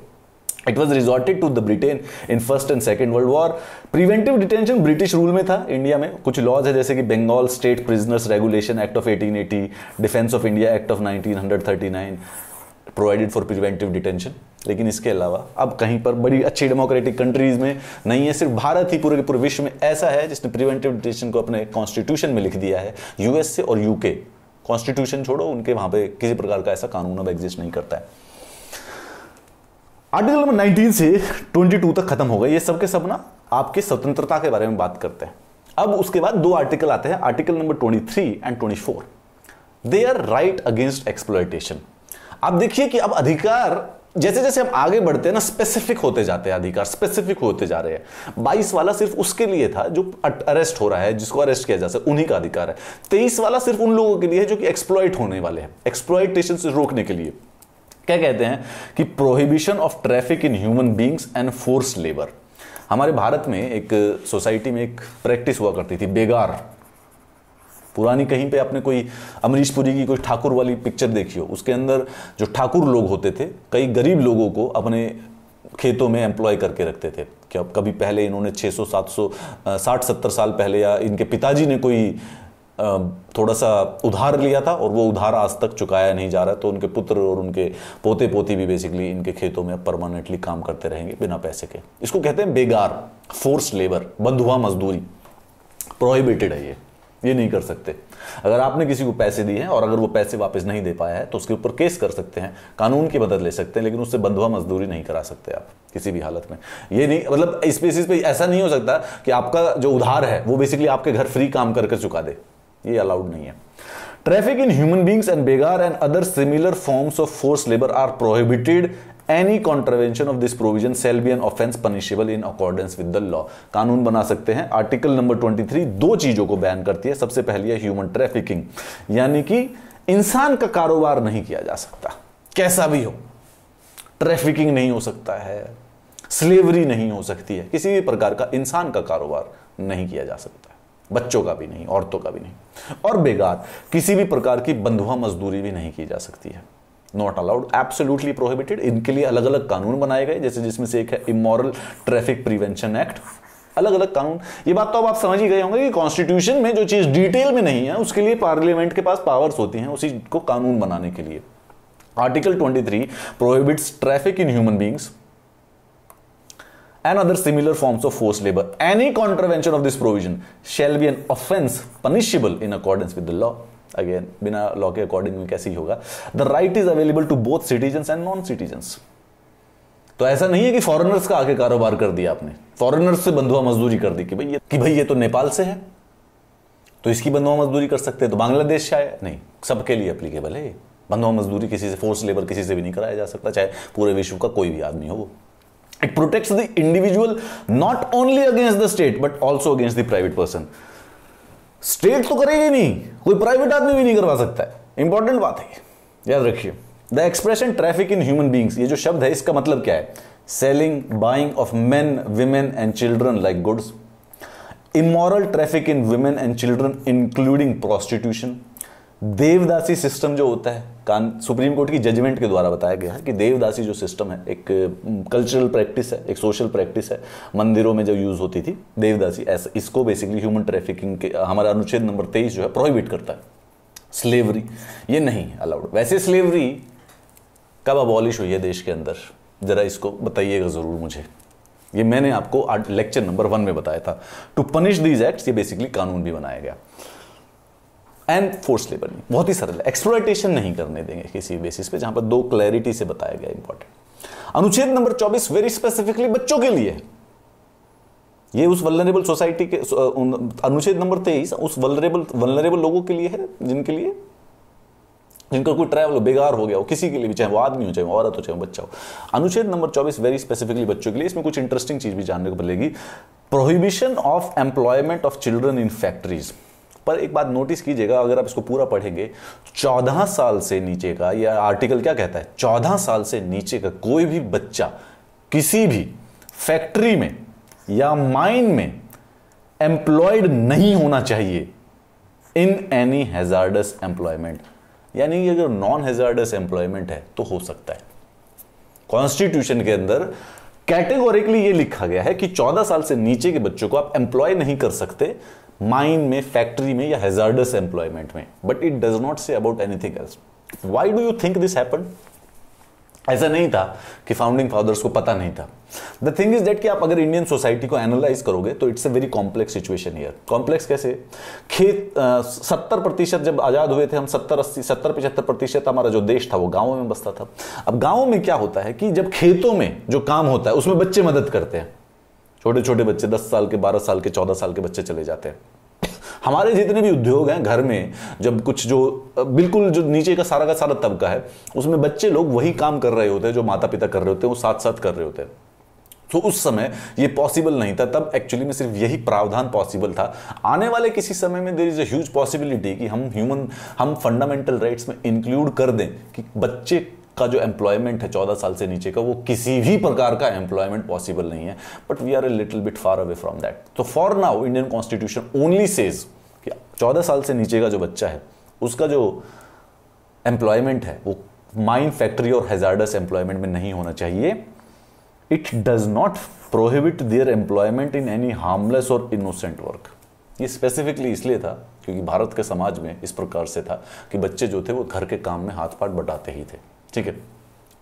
अब इससे एक प्रॉब्लम क्रिएट हुई, जिसके लिए हमें फिर अलग से एक स्पेसिफिकली क्या किया इससे क्या हुआ कि जो ये ढाबे वाबे लोग होते हैं रेस्टोरेंट होते हैं, ये बच्चों को एम्प्लॉय करने लगे। इसके लिए भारत सरकार ने एक अलग से कानून बनाया। In 2006 the government banned the employment of children as domestic servants घर के काम में कर लो, दूसरों के घर पे मेड नहीं बनाना है। और workers in business establishment hotel में, ढाबे में रेस्टोरेंट में shop factories resorts spa tea shop और सो ऑन वो कानून कॉन्स्टिट्यूशन में इसलिए बनाया गया था कि घर वर के जो काम होते हैं, खेतों वेतों में कई बार बच्चे काम करते हैं। दे टो मिस उनका मिसमैनेजमेंट किया। तो फाइनली 2016 में कहा कि ऐसा नहीं है कि बच्चों को आप इन, वैसे आपको लग रहा है कि हेजार्डस नहीं है तो ये हार्मलेस हो जाएँगी। नहीं, बिल्कुल नहीं, फिर इनको हटा दिया गया। Any one employing children below fourteen year of age would be liable for prosecution और पीन इलेक्शन ये तो सरल बात है, इसी कानून में पूरा का पूरा लिख दिया गया है। चाइल्ड लेबर एक्ट है ये। याद रखिए, hotel, dhaba restaurant shop factory resort spa tea shop और इस प्रकार से जितनी भी बिज़नेस इस्टेब्लिशमेंट है या कहीं पर भी डोमेस्टिक सर्वेंट पे, जब भी कभी आप देखें, आपके पड़ोस में कोई बच्चे को ऐसे एम्प्लॉय कर रखा है तो आप डायरेक्टली वेरी क्लियरली आप पुलिस को रिपोर्ट कर सकते हैं इस बात के लिए। Now they can not be employed constitution में नहीं है ये।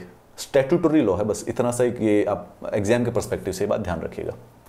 अब अनुच्छेद 24 के बाद जब हम एक्सप्लोइटेशन की बात को खत्म कर लेते हैं तो एक महत्वपूर्ण मुद्दा रह जाता है देश के लिए, नागरिकों के लिए, धर्म। Religion taps into something very unique and very primal of human beings हमारे देश ने इस बात का निर्णय लिया कि हम सारे के सारे धर्मों को अपने देश में बसाएँगे, सब रहेंगे मिल बांट कर रहेंगे, एक दूसरे के साथ दोस्ती करके रहेंगे। उसके लिए उन्होंने कहा कि धर्म का भी पूरी स्वतंत्रता देनी है। और वो कॉन्स्टिट्यूशन में दी गई फ्रीडम ऑफ़ रिलीजन और चार आर्टिकल के द्वारा। अनुच्छेद नंबर 25, 26, 27 और 28 अनुच्छेद नंबर 25 इंडिविजुअल की है और अनुच्छेद नंबर 26 जो है वो ग्रुप्स की है। कलेक्टिव रिलीजियस फ्रीडम देखते हैं। आर्टिकल नंबर 25 काफ़ी लंबा सारा है। ठीक है वैसे नोटिस करोगे तो देखने का क्या है? Freedom of conscience freedom of profession freedom of practice and freedom of propagation of religion धर्म का कंसाइंस धर्म का प्रोफेशन धर्म का प्रैक्टिस और प्रोपोगेट इन ये सब करने का अधिकार है। बस इससे पब्लिक ऑर्डर मोरालिटी और हेल्थ का नुकसान नहीं होना चाहिए। और ऐसा नहीं है, अगर ज़रूरत पड़ी है तो रेगुलेट और रिस्ट्रिक्ट किया जा सकता है कोई भी इकोनॉमिकल फाइनेंशियल पॉलिटिकल और सेकुलर एक्टिविटी रिलीजियस प्रैक्टिस से। तो ऐसा नहीं है कि बिल्कुल कंप्लीटली ब्लाइंड कर दिया कि धर्म में कुछ भी किया जा सकता है। अगर गवर्नमेंट को ज़रूरत पड़ती है तो किसी भी पर चाहे इकोनॉमिक हो फाइनेंशियल हो रेगुलर हो सेकुलर हो रिलीजियस हो, अगर रेगुलेट करना पड़े ऐसी एक्टिविटी को किया जा सकता है। Providing for social welfare and reform of throwing open of Hindu religion institution of a public character to all classes and sections of Hindu explanation. आइए बात करते हैं तो आर्टिकल 25 के अंदर चार शब्द बहुत इंपॉर्टेंट है conscience profess practice and propagate चारों चीज़ों का अधिकार है आपको सबको पूरे के पूरे देश में हर एक नागरिक को सिटीजन्स को ये फॉरेनर्स को भी है फॉरेनर अगर कोई आता है और उसके पास ऐसा कोई रिलीजन है जो कि हमारे देश में है ही नहीं, वो भी फॉलो कर सकता है। उसके भी पास पूरे अधिकार है। या कोई फॉरेन क्रिश्चियन आ गया फॉरेन हिंदू आ गया फॉरेन मुस्लिम आ गया, अधिकार, धर्म के अधिकार सबके पास हैं। दोनों सिटीजन्स और नॉन सिटीजन्स के पास है। क्या कहता है? फ्रीडम ऑफ़ कंसाइंस का क्या मतलब होता है? पहले वाला। Inner freedom of an individual to mould his relation with god और creatures in whatever way he desires कहने का मतलब है, आप अपने भगवान के साथ जिस प्रकार का रिश्ता रखना चाहते हैं, रख सकते हैं। अगर आपके अंदर से आवाज़ आती है कोई भी, अपने भगवान के साथ आप कोई दूसरा धर्म लेना चाहते हैं, वो ले सकते हैं। आपको लगे कि कुछ और your spirituality your religion is your personal matter कोई चिंता की बात नहीं है, जैसा भी आपको पसंद है, आप आराम से कीजिए। Right to profess declaration of one's religious belief and faith openly and freely बता भी सकते हैं, घबराने की कोई बात नहीं है। आपके जो विचार हैं, भक्ति के स्पिरिचुअलिटी के प्रोफेस कीजिए। किसी को बताना चाहते हैं कि मैं ऐसी ऐसी बातें मानता हूँ, आप भी सुनिए, काफ़ी अच्छी लगेंगी ऐसे ऐसे विचार हैं मेरे स्पिरिचुअलिटी के you can profess them religious और स्पिरिचुअल दोनों विचार। Right to practice performance of religious worship rituals ceremonies and exhibition of belief and the ideas धर्म सिर्फ़ और सिर्फ़ अंदर से मानने की बात नहीं है, धर्म के अंदर एक एक्सप्रेशन का बहुत इंपॉर्टेंट कॉम्पोनेंट है। आपके धर्म से संबंधित कुछ पर्टिकुलर रिचुअल्स होते हैं, धर्म से संबंधित पर्टिकुलर फेस्टिवल्स होते हैं, आपको वो सब मनाने का अधिकार है। इस बात को क्लियर कट दिखाने का अधिकार है कि ये धर्म हूँ मैं मैं इन चीज़ों को मानता हूँ। सेरेमनी जो हो बिलीफ हो, जो आइडियाज़ हो, अच्छी तरह से पूरी तरीके से मान सकते हैं। And right to propagate transmission and dissemination of one's religious belief to others और exposition of tenets to one religion किसी दिन पार्क में बैठ के आप अपने धर्म दूसरे लोगों को समझा भी सकते हैं। इंफॉर्मेशन दीजिए, जितने भी लोगों को अच्छा दे सकते हैं। तो ये तीन, चार शब्दों को ध्यान रखिएगा। कंशाइंस प्रोफेस प्रैक्टिस और प्रोपोगेट इन चारों की कंप्लीट फ्रीडम दी गई इंडिविजुअली ये आर्टिकल 25 में इंडिविजुअल रिलीजियस फ्रीडम दी गई है। बट अगेन हर जगह पे बट है। एब्सोल्यूट राइट right नहीं है, एक भी fundamental right everywhere there is a reasonable restriction here also it does not include right to convert another person to one's own religion. Forcible conversion impinge on the freedom of conscience, guaranteed to all the person alike. Non forcible conversion आप कर सकते हैं propagate करेंगे अगर अपने आपके धर्म को और सामने वाले की जो फ्रीडम ऑफ़ कंसाइंस है, उसको लगता है कि आपके धर्म में उसे कुछ ऐसा महत्वपूर्ण उसको फील हो रहा है ही फील्स समथिंग एल्स तो वो कर सकता है but compulsion forcible conversion basically allowed नहीं है. इंडियन कॉन्स्टिट्यूशन के according it clear that article 24 से सिर्फ़ रिलीजियस बिलीफ ही नहीं बट रिलीजियस प्रैक्टिस जो रिचुअल्स होते हैं। आप ये बात तो जानते हैं कि अलग अलग धर्म की अलग अलग रिलीजियस प्रैक्टिस होती हैं। बच्चा होने पे अलग होती है, शादी होने पे अलग अलग होती है। तो वो रिलीजियस प्रैक्टिस धर्म से स्पेसिफिक है। राइट अलग अलग धर्म अलग अलग फॉलो करते हैं।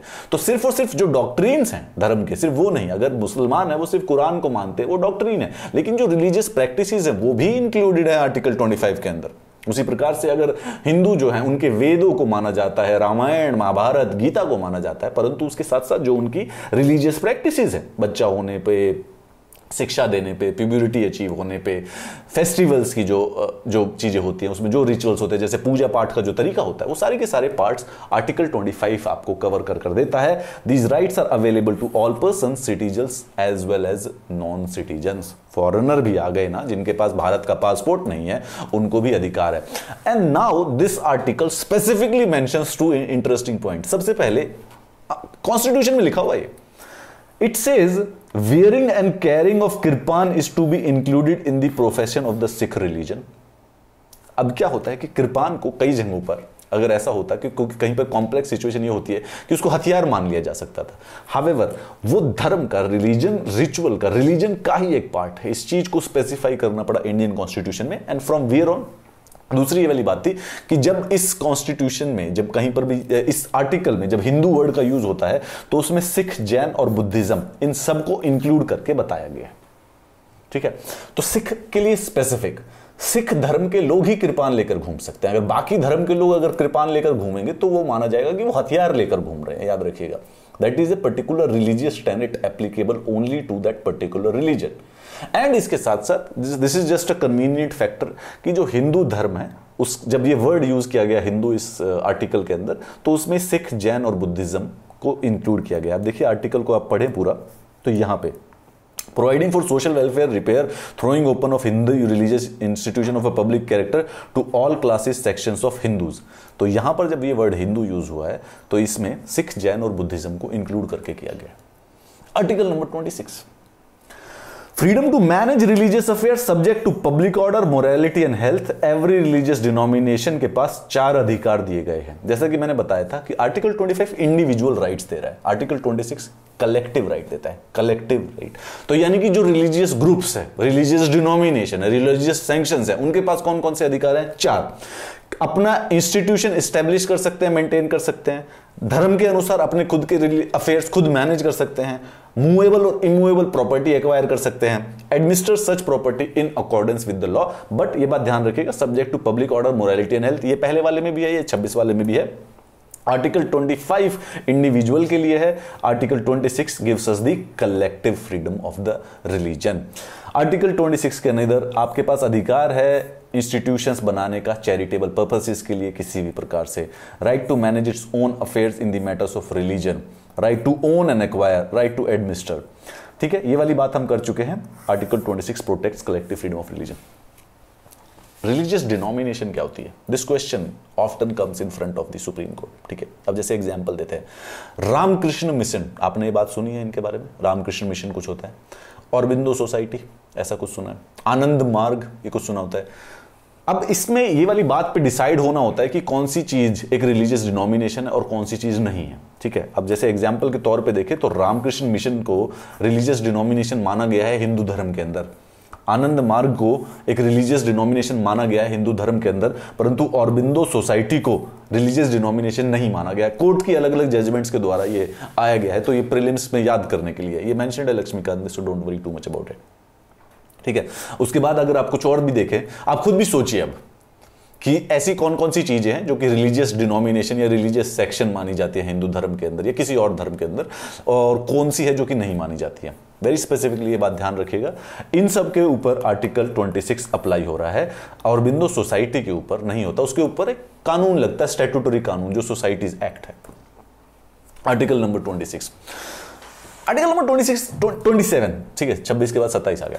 27 इज़ वेरी इंटरेस्टिंग ये कहता है freedom as to payment of taxes for promotion of any particular religion कहने का मतलब है no person shall be compelled to pay any taxes the proceeds of which are specifically appropriated in payment of expenses and blah blah blah India में नहीं है, परंतु united states में एक मेजर डिबेट है, ज़्यादा, भारत में कम है। इंडिया वो डिबेट ये है कि जो रिलीजियस ऑर्गेनाइजेशन है उन पर टैक्स क्यों नहीं लगते? चर्च पर टैक्स नहीं लगता है यूनाइटेड स्टेट्स में। इंडिया में भी कई लोगों को मानना है कि जो टेंपल है मॉस्क है, वक्फ बोर्ड है, इनसे टैक्स क्यों नहीं लिया? तो वाई इनको स्पेसिफिकली किस बात के लिए फ्री अब देखो एक इंटरेस्टिंग बात है, यहाँ पर एक नोटिस करना इस बात को। अगर स्टेट टैक्स कलेक्ट करेगी धर्म के ऊपर तो स्टेट सेकुलर नहीं रहेगी। क्यों? क्योंकि वो जो टैक्स कलेक्ट किया जाता है उसी अगर रिलीजन के, किसी पर्टिकुलर इशू से रिलीजन डिनोमिनेशन से टैक्स कलेक्ट होगा, वो टैक्स एक यूनिवर्सल उस अकाउंट में चला जाएगा ट्रेजरी में चला जाएगा इंडिया की। Now that money becomes religious अब बेसिकली स्टेट उस धर्म की प्रमोशन के लिए अगर पैसे को यूज़ ना करे तो ये भी गलत होगा। भाई, अगर आपसे टैक्स लिया जाता है तो दिस इज़ इंपॉर्टेंट ना कि अब सरकार उस पैसे से देश की डेवलपमेंट करे। लेकिन अगर धर्म से पैसा लिया गया है तो फिर बेसिकली स्टेट को अब धर्म की भी प्रमोशन करनी पड़ेगी, किसी भी धर्म की। स्पेसिफिकली उस रिलीजियस डिनोमिनेशन की करनी पड़ेगी जिससे टैक्स लिया। अब इसके अंदर हमारे जो स्टेट होती है, उसका सेक्युलर कैरेक्टर जो है थोड़ा सा कमज़ोर हो सकता है। इसीलिए रिलीजियस डिनोमिनेशन से बोला गया कि कोई टैक्स नहीं पे करना पड़ेगा पर्सन को which are specifically appropriated in payment article says no person shall be compelled to pay any taxes for the promotion और maintenance of any particular religion और रिलीजियस डिनोमिनेशन कहने का मतलब है कि आपसे जो भी टैक्स लिया जाएगा, उसको कभी भी धर्म के लिए यूज़ नहीं किया जाएगा। या फिर स्पेसिफिकली एक ऐसा टैक्स नहीं यूज़ किया, बनाया जाएगा जो सिर्फ़ रिलीजन की प्रमोशन के लिए। कॉन्सेप्ट समझिएगा। आपसे टैक्स इनकम टैक्स लिया जाता है, ठीक है? प्रॉपर्टी टैक्स लिया जाता है व्हीकल टैक्स लिया जाता है जीएसटी लिया जाता है। परंतु ऐसा, और कई बार आपसे सेस भी लिया जाता है। आपके मोबाइल बिल में एक सेस लगता है, जो, जिस पैसे को specifically mobile development mobile technology के डेवलपमेंट के लिए टावर लगवाने के लिए यूज़ होते हैं। आपके पास कुछ ऐसा टैक्स लगता है, जिससे सिर्फ़ रोड की डेवलपमेंट होती है राइट कुछ सेस होते हैं, जिससे एग्री एनवायरमेंट सेस होता है, कई चीज़ों के ऊपर, गाड़ियों के ऊपर। वो ऐसा कभी भी धर्म से कॉन्टेक्स्ट में नहीं है कि आपसे कोई टैक्स लगाया जाए स्पेसिफिकली और उस स्पेसिफिकली टैक्स को यूज़ किया जाए किसी भी पर्टिकुलर रिलीजियस की प्रमोशन के लिए। No tax you will not be compare पहले होता था जैसे पुराने मोनार्क होते थे, धर्म का टैक्स लगा देते थे स्पेसिफिकली ऐसा नहीं होगा। State should not spend the public money collected by way of tax for promotion और मेंटेनेंस ऑफ़ द रिलीजन ठीक है? तो ये कोशिश करता है कि ना किसी रिलीजन को फेवर किया जाए पेट्रोनाइज किया जाए support one religion of the other लेकिन एक बात ध्यान रखिएगा कि जो नॉर्मल टैक्सेस इकट्ठे होते हैं, सरकार के पास जो टैक्स जाते हैं, उस टैक्स से इक्वली सारे धर्मों के ऊपर यूज़ किया जा सकता है वो। तो किसी पर्टिकुलर धर्म को कभी एक्स्ट्रा कुछ ग्रांट चाहिए हो, कुछ बहुत ही, कोई छोटा धर्म है, उनका कोई स्कूल बनाने के लिए स्टेट की तरफ़ से ग्रांट हो तो दे दी जाती है, उसमें कोई बुरी बात नहीं है। परंतु आपके ऊपर टैक्स नहीं लगेगा धर्म से संबंधित कभी भी। Very important criteria.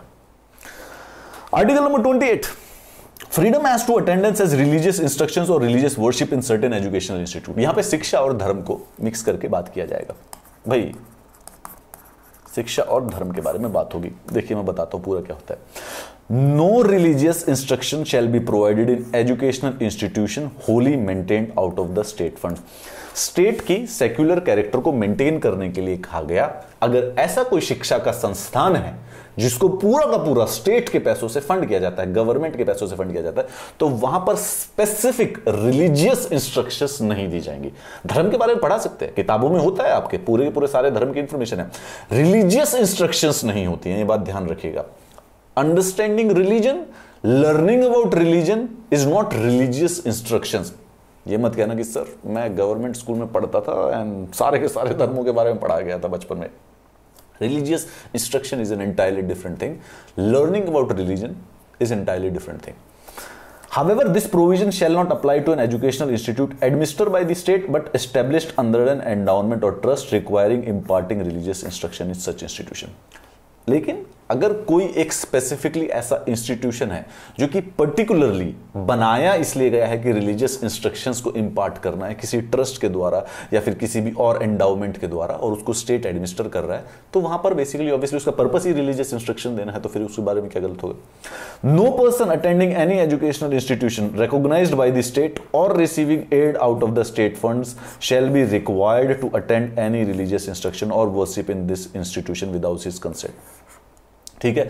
तो स्टेट या स्टेट फंड से चलने वाला कोई भी इंस्टीट्यूशन होता है, अगर वहाँ पर रिलीजियस इंस्ट्रक्शन दी जा रही हो तो कोई भी कंसेंट के बिना नहीं ले सकता है। अच्छा ये बात मत कीजिए। अब आप ये मत बोलिएगा कि, सर यूनिवर्सिटीज में तो हो सकता है, कई कई यूनिवर्सिटीज में वेद भी पढ़ाए जाते हैं। वेद की पीएचडी कैसे करेगा कोई? सर, गीता भी पढ़ाई जाती है। गीता की पीएचडी कोई कैसे करेगा? सर, कुरान भी कहीं पर पढ़ा सकते हैं। That is not religious instruction again there is a difference between learning about religious text and religious instruction इस बात को इंटरफेयर करके रखिएगा, ठीक है? इस बार में कंप्लीट क्लैरिटी रखिएगा। अगर स्कूल में गीता के पाठ पढ़ाए जाएँ, अगर स्कूल में किसी रिलीजियस किताब के बारे में बताया जाए रिलीजियस के कुछ प्रिंसिपल्स बताए जाएँ जीजस के बारे में बताया जाए तो ये नहीं है कि वो रिलीजियस इंस्ट्रक्शन है। वो सिर्फ़ नॉलेज इंस्ट्रक्शन नहीं है, वो रिलीजियस नॉलेज है। रिलीजियस इंस्ट्रक्शन एंटायरली डिफरेंट चीज़ होती है, जो कि स्टेट के पास अलाउड नहीं होती है। आर्टिकल 28 चार प्रकार के एजुकेशनल इंस्टीट्यूट बताता है। Institutions wholly maintained by the state institution administered by the state परंतु एंडाउटमेंट और ट्रस्ट के द्वारा बनाए गए हैं। Institution recognised by the state institution receiving aid from the state ठीक है? तो चार हो गए। पहले वाला तो सब कुछ स्टेट का है। एडमिनिस्टर मेंटेन पैसा सब स्टेट के ऊपर। दूसरे वाला एडमिनिस्ट्रेशन स्टेट का है, परंतु पैसा फंड जो है, वो किसी ट्रस्ट से या एंडाउनमेंट से आया हुआ है, ठीक है? ट्रस्ट और स्टेट का हो गया।